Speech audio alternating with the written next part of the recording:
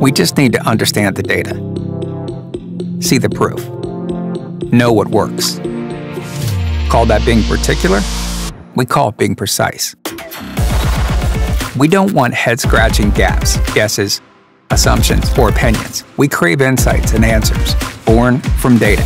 We're engineers who love how having all of our telemetry, metrics, events, logs, and traces cuts through the crosstalk, separates signal from noise, fact from opinion.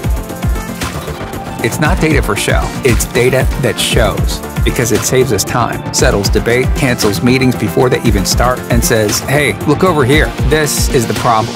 When dev, ops, security, and business teams come together around data, it washes away the doubt. It reveals the connections we all know are there, the threads that point to the path forward, and what will really work. This is Data for Engineers.